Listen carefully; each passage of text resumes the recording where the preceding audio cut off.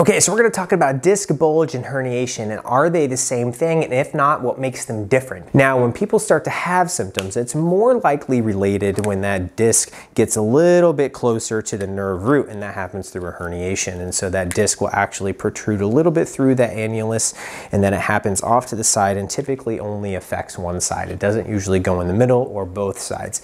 And so if it is L5S1 on my left leg, I would maybe expect some calf tingling or the side of my leg tingling with maybe a little bit of weakness and pain. You may, may or may not have back pain with it, but with a herniation, you're more likely to have symptoms. But in that same study, they found that people often had herniations without any symptoms as well. So it needs to be correlated with your exam. If you're one of those people that they accidentally found a herniation when they were looking for other things, don't worry about it. It just means that you've been on this earth a few days. And so main difference between the herniation and the bulge is how far that disc moves out of the annulus or towards the nerve